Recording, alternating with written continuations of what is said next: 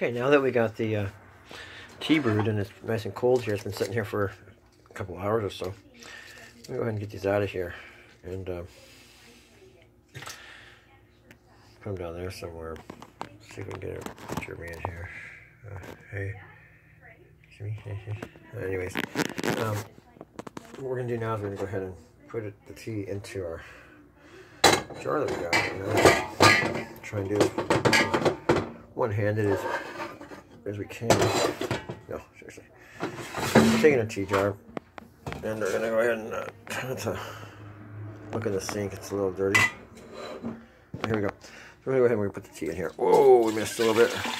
Don't worry, missed a little bit. Just clean it up later. Okay, so we got the tea in there. Go ahead and uh, seven cups. Huh? To do now, it looks like it's not, it's a little warm here. Let's go ahead and next.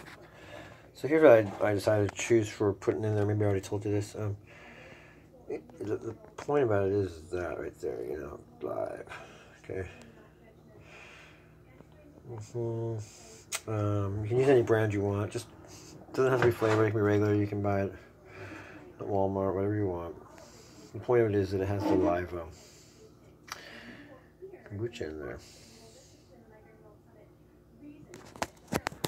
So a quick roundup again. What we did was we brewed up uh, seven, uh, sorry, five bags of tea and seven cups of water, and we let it steep with one cup of sugar in it for almost an hour until it was totally cool. Uh, we put it in our container. We got a bottle of kombucha, and you know, realistically, we don't. We only need about a cup of this for this recipe to create the SCOBY, the symbiotic culture of bacterial yeast. We're just gonna guess here, you know. I don't know, you know. We're gonna guess enough that I can drink some now. We're gonna do. I imagine we probably got enough in there. Let's give us a little bit more. Uh-huh. Mm -mm. Mm. Now we gotta get a get a lid for this, okay?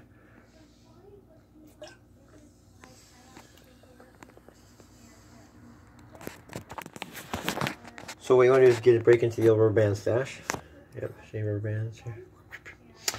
You get yourself some like a coffee filter because cheesecloth, mm, it's an old school way, but things just get through that. So I would say coffee filters the is Hold on, hold on a second.